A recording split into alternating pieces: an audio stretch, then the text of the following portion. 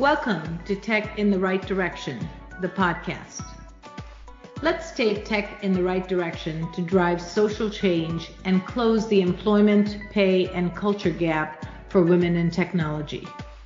This podcast is focused on helping turn ideas into action to create opportunities for women to advance in the dynamic technology industry. I hope this podcast will inspire and motivate you to encourage more women and girls to seek or grow a career as a woman in technology. Stories about the journey of amazing women in this tech field starts right now. Welcome to Tech in the Right Direction, the podcast. This week, I'll be speaking with Caley Adams. Caley is the founder and creative director of Wildes District, a New York City based design studio that specializes in emerging women's and e commerce brands. Wildes District works closely with founders to build meaningful experiences that span multiple touchpoints, including brand, web, app, print, packaging, and more. Caley has over a decade of experience working with some of the world's most celebrated brands, including Chanel, The Row, Rolex, Warby Parker, Birchbox, Ralph Lauren, and BarkBox. After spending years building larger brands, she turned her focus to working with early stage companies to help them navigate the many phases and challenges of brand development, from pre launch to post launch life and created Wildes District in 2018. Today, she leads the Wildes District team and partners with founders to help build brands from the ground up with visually compelling but scalable design. Their client includes some of the most of the moment names today, including Andie Swim, AUrate, Chief, Clare Paint, Coderay, Elix Healing, Kin and Margot. Welcome to the show, Caley. So happy to have you on. Thanks so much. It's so good to uh, be on here. Thank you for um, having me on the podcast. I've been listening to a couple episodes and I've really enjoyed what I've heard so far. So happy to be here. That's great. Well, thank you. Um, so, Caley, as a woman in tech, can you share with us your career journey and how you got to where you are today? Yeah, so I started my career actually not in tech, which was interesting. I started um, in the design field and um, mostly within kind of traditional design mediums. So things like print and packaging design, um, branding, and all of that. And then kind of stumbled my way into tech um, naturally over time throughout the years. So as as more needs arose for doing um, website design, I started to do a lot more of that earlier on. And in the earlier years, it wasn't something that a lot of people were doing. So it was pretty new, um, which I was lucky, I think, to have that timing because it was um, something I could find my way into. I think it's a little bit more challenging these days when so many people are experts in the um, in the in the field, but yeah, so I started doing a lot more website design. Um, for many years, I was working in agencies, working across different clients, a lot of um, big uh, fashion and luxury type of clients in my earlier days. And then I switched into um, working for an in house company. I worked um, at Birchbox for a time. And um, that was a really good transition because it also brought me a little bit more into the tech world, working for a startup and working specifically on their product design team. And um, yeah, from there, I, I my journey is kind of long and winding, but I um, uh, eventually, after many years working kind of agency side, in house, pretty much the the whole gamut, I decided to start my studio and um, have been doing that for the last five years or so. That's great. You know, many, many women start out their tech career, but not in tech. They start somewhere else and then they move into tech. So that's pretty common. Yeah. Um, that's great. It sounds like a great journey. So tell tell us more about Wildes District. Yeah, so we um, are a small design studio. We're based in New York City, and we um, are a team of women. We work primarily with women entrepreneurs and women founders to launch their businesses. So um, we really focus with a lot of clients that are kind of still in that luxury and lifestyle uh, world, and we work with them to do um, everything from branding design to digital uh, web web design, app design, um, packaging, the full suite of design um, services. But really, where our perfect niche is is fusing the best in class technology with that premium aesthetic and, and more luxury type of design aesthetic. Um, and from my past, you know, kind of being in the luxury world, what I've noticed is that a lot of the times there's a lot of focus in this in this world on um, aesthetics and making things look beautiful, but there's not always a heavy emphasis on technology and making things convert, making things actually function and work really well. Um, so, you know, on one hand, you see companies like Twitter, for instance, that are very tech uh, forward, but maybe not the most beautiful platform you've ever spent time on.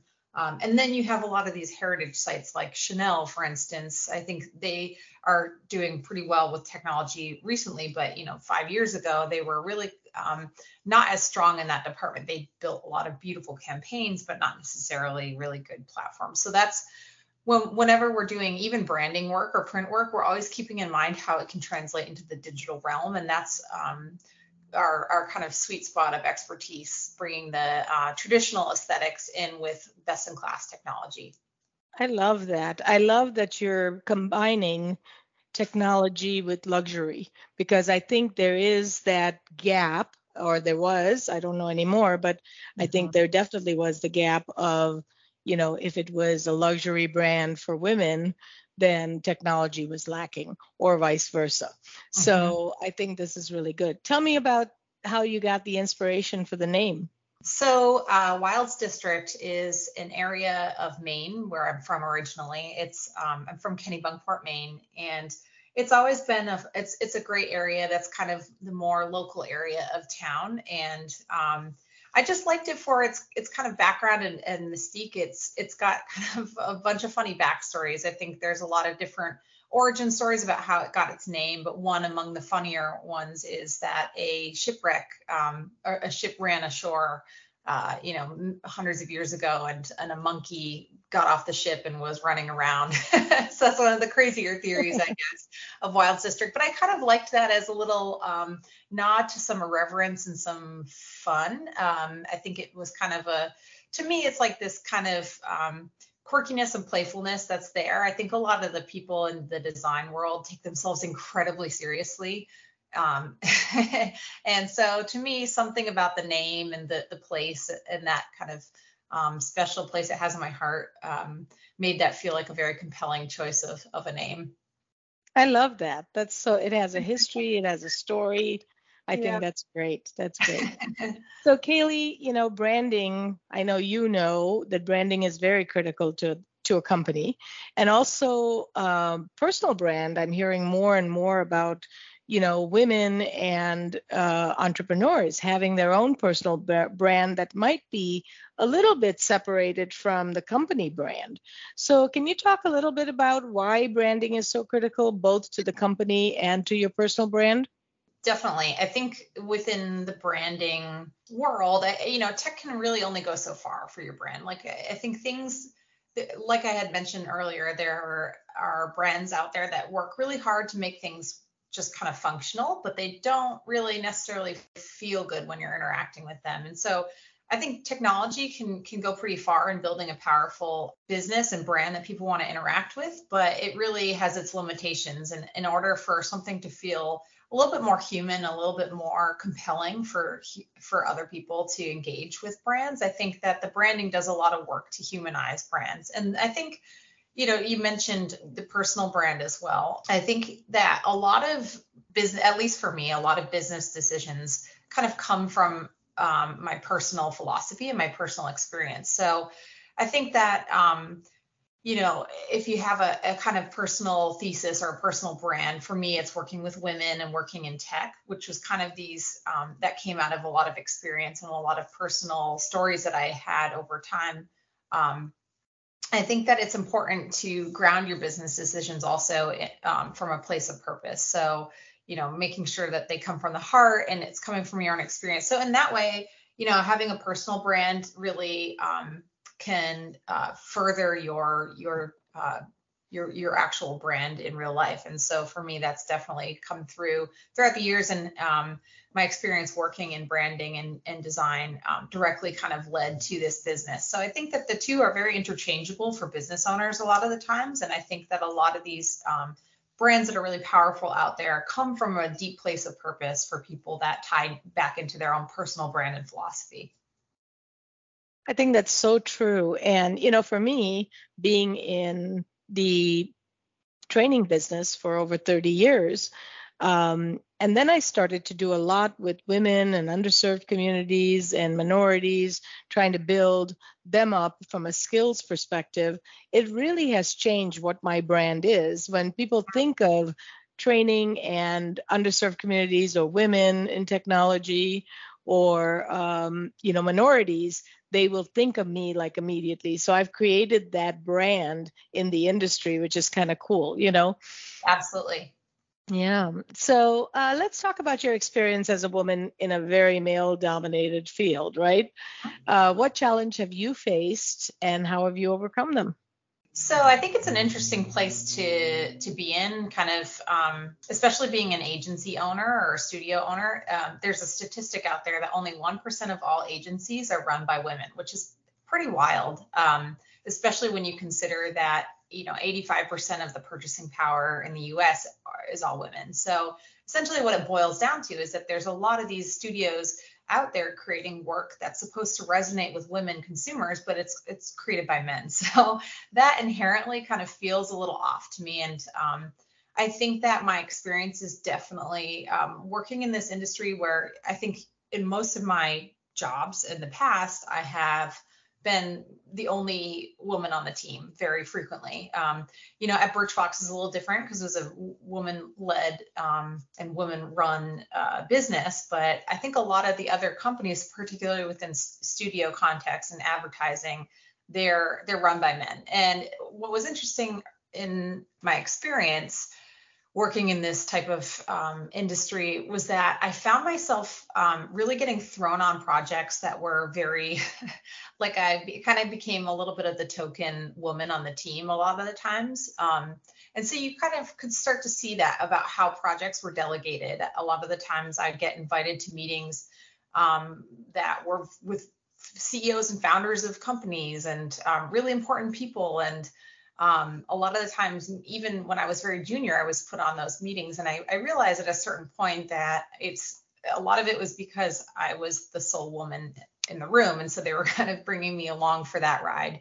Um, and to show their clients like hey look you know we have someone who speaks your language but it was kind of bizarre at the same time it felt like a weird um, it felt like a weird experience just to um, be brought around in that context and um, be the only voice, uh, especially you know within the agency context. All of a lot of the clients that we were often working with were women, um, and you know th- they were working with these agencies that were all men. So that I, that always that experience really shaped the output of the work that I'm doing today. And I think that it's important to, you know, have people who are part of your audience really building your brand alongside with you. Um, and that ha- was a main driver for Wildes District, really focusing on women's brands. Um, so that we can empower and work with women founders to build their brand alongside them instead of kind of like you know, be hired to do some guesswork. Um, and I think a lot of that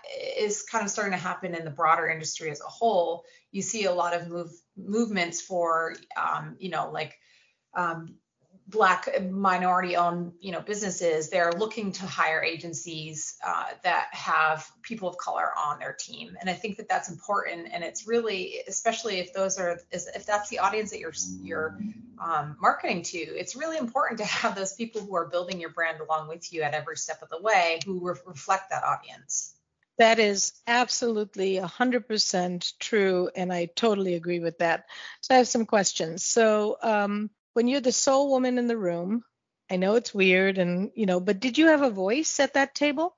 Sometimes it really depended on the context. And, and I think a lot of it came down to really just my comfort level too. So I found that the, er, the, the higher I got in my career, you know, I felt a little bit more comfortable actually um, kind of chiming in. But in the earlier days, it was a lot harder for me to speak up proactively. And certainly people were not asking for my opinion at that time either. So it was kind of a double edged sword and it was um, challenging, I think, sometimes to be, um, to not really know if it was appropriate to speak up or not. Um, there were there was this one story that I, I, tell a lot where I distinctly remember this this moment where I had um, flown out. We were working on a really nice shoe brand. Um, this is like 10 years, 15 years ago now.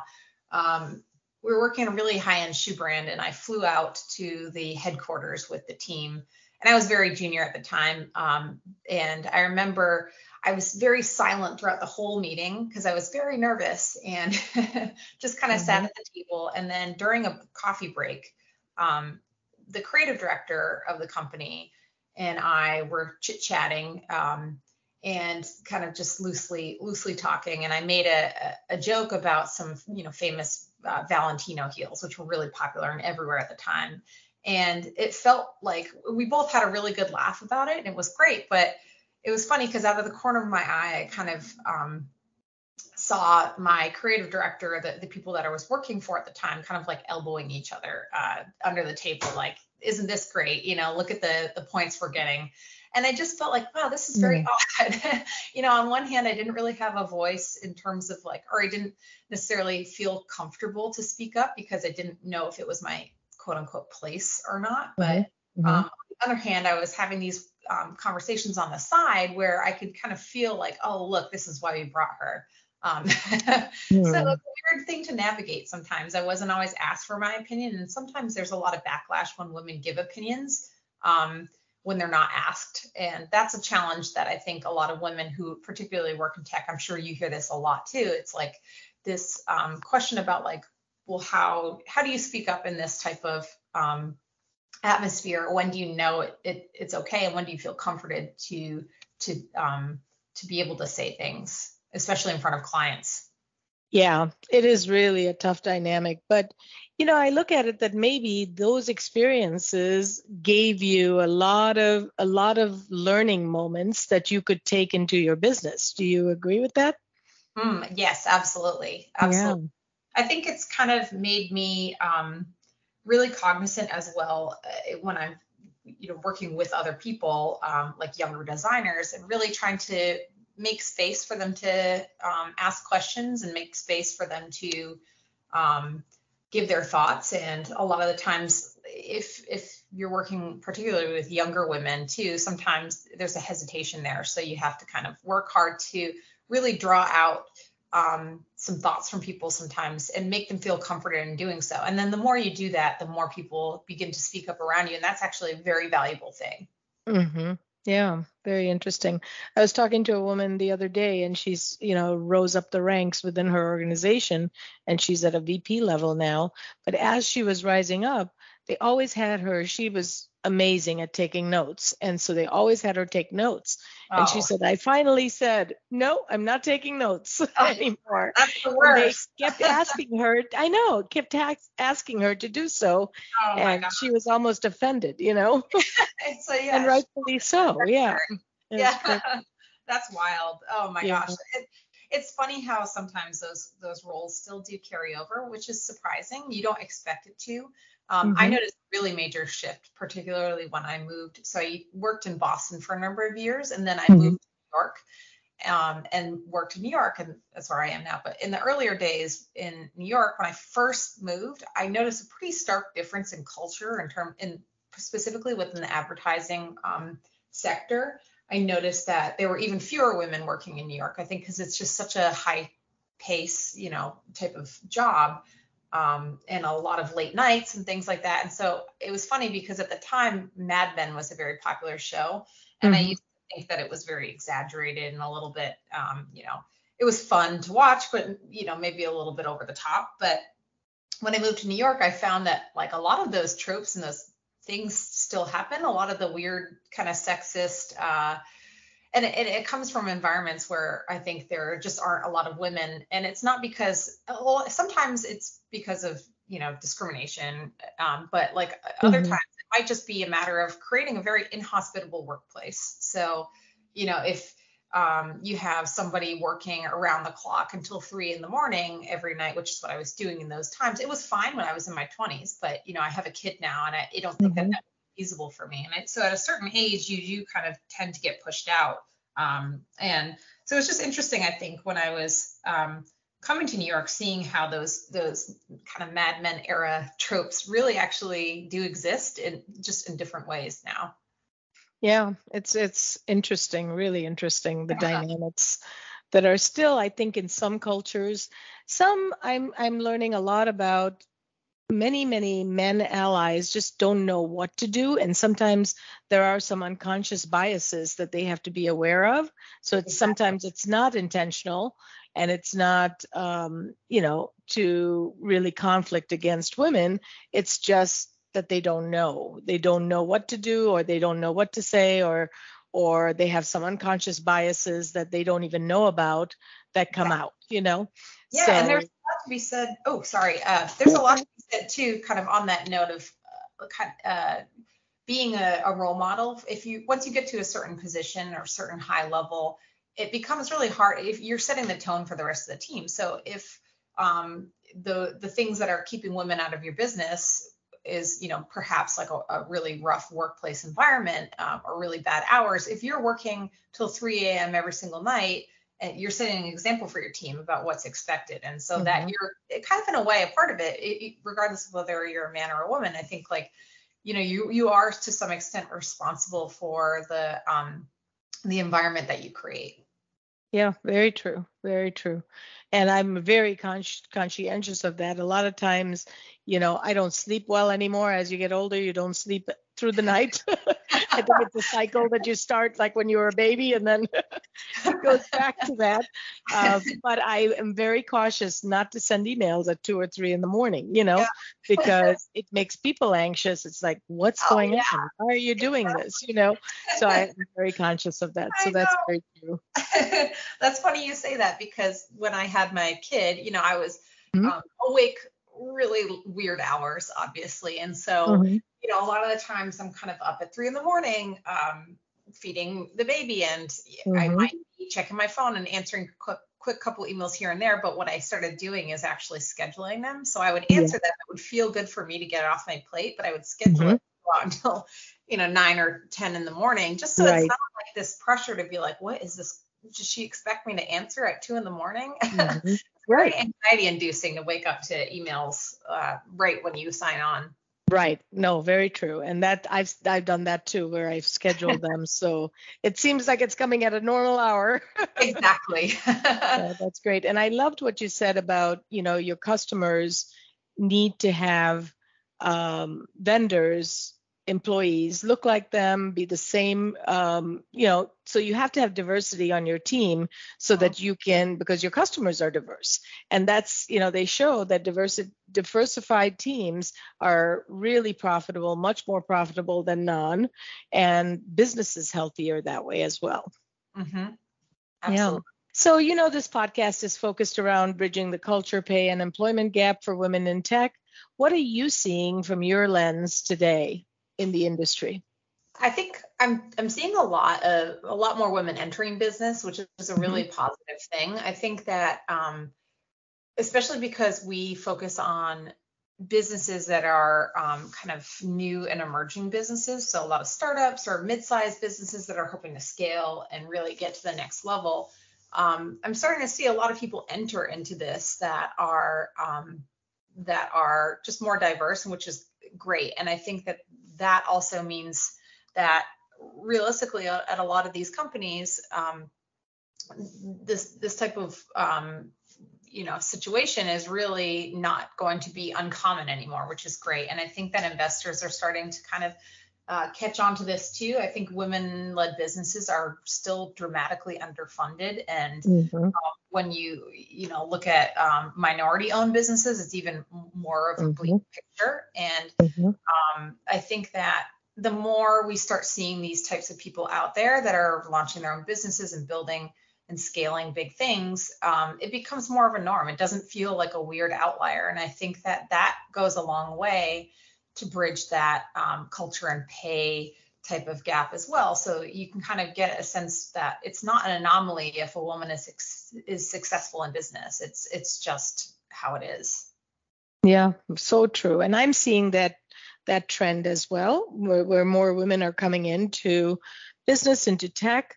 Uh, but we have a long way to go. Like you said, even the funding sources are so slim. You know, I think it's only 3% right now of wow. uh, businesses that are VC funded, and that's that's just not enough. I mean, that's that's wrong. So, but I think things are changing. I think we are seeing a lot of organizations make very strong uh, leaps and bounds to get uh, DEI initiatives in their company. So I, I really feel better about it. We just have to keep working on it.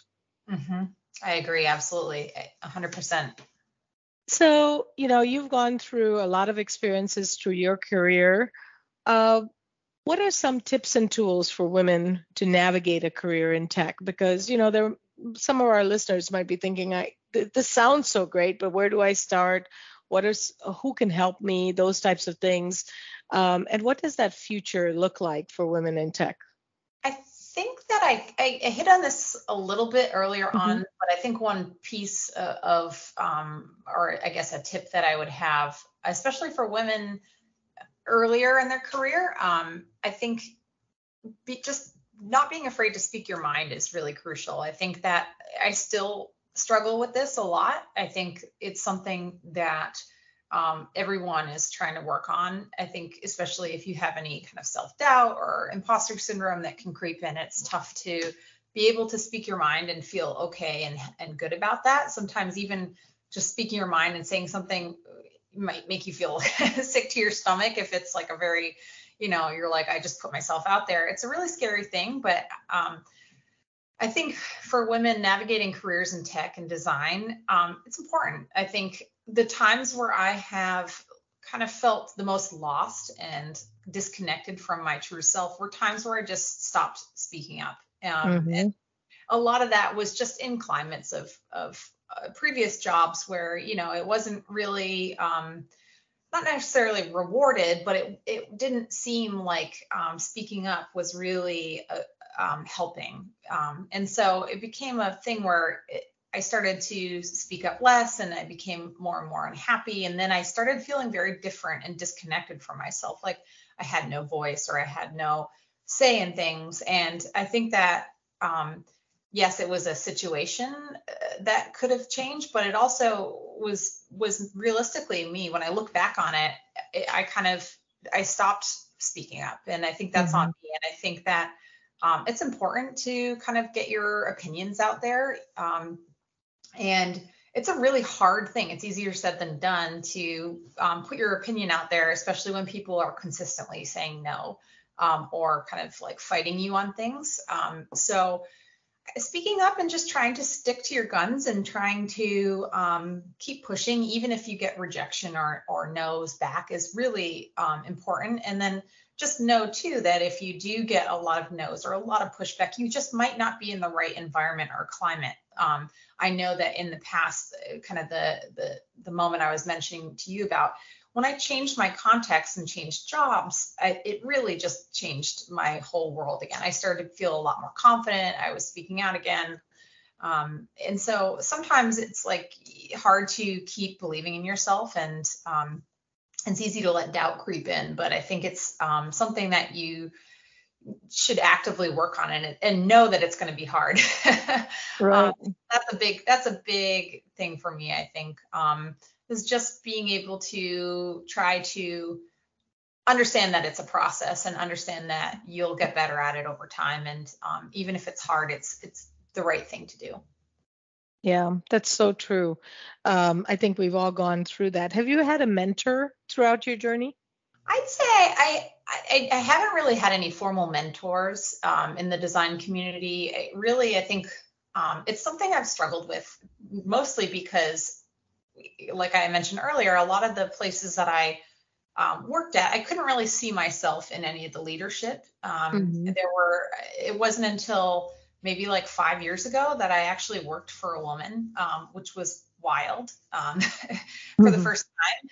And so, I mean, you know, direct as like a, you know, someone running their company or the mm-hmm. kind of direct so like I was always looking up to these people, but it was hard to see me kind of filling their shoes or be stepping into their lives. And so as such, I, think a lot, I, I didn't really have a whole lot of mentorship, but I will say that I get a lot of inspiration and energy from um, other women entrepreneurs out there in the world. Um, that's really where I get my um, strength and a lot of my um, drive is seeing people doing really cool things. And um, for me, a lot of the times when we might be pitching on business and we lose the business for whatever reason, be it cost or timeline or whatever, um, I often find myself reaching out to the founders after and saying, you know, I, I, understand, thank you so much, but hey, would you still want to get coffee? And so actually, a lot of the people that I have met, a lot of the women peers in business and a lot of entrepreneurs have become some of my closer friends, which is really great. And it's just a, it's something I try to do for myself to surround myself with um, women who are building great things um, as a way to keep myself going and, and stay inspired and stay energized. Because when I see other people doing really cool things and constantly pushing, even when it's hard, um, it really, really um, gives me a lot of energy to, to keep going in my own life and career. That's great. And I love that you reach out to you know other women entrepreneurs even if you didn't get the business to say hey let's have coffee. Let's just yep. build a relationship. Let's have a friendship. And i love that because i do the same thing. Yeah. and uh, you know it's great because you learn from each other every day. I learn from everybody. So yeah and that was another thing i had to kind of get over too is just this feeling of like is that weird? you know, mm-hmm. I didn't want to come off as like a weirdo, but at the same time, I really was like, hey, um, you know, do you want to hang out?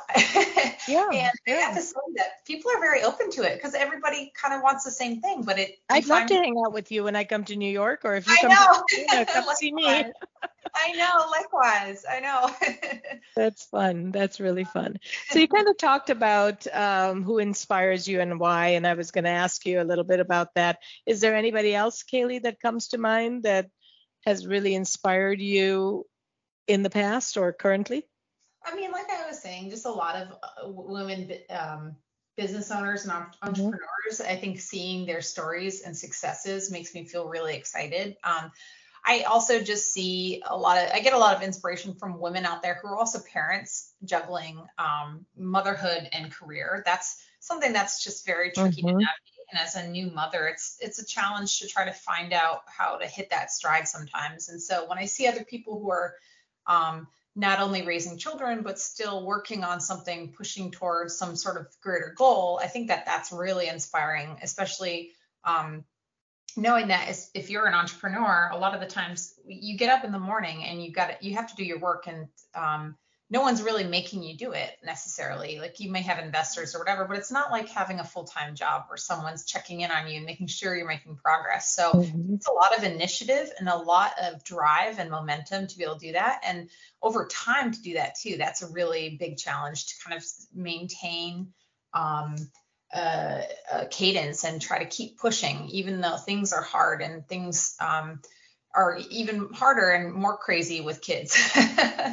Yeah, um, and women are so good at you know taking on all the all the work in the world and getting yeah. it done whether it's midnight or two o'clock in the morning we're figuring it out and i exactly. love that you said that you know motherhood and career balance is really really tough and i have two daughters that do that every day and i just really respect and admire them because they have a very strong work ethic they get everything done uh, they take care of their kids beautifully, you know, and do the right thing always. So it's really good, really good to see that.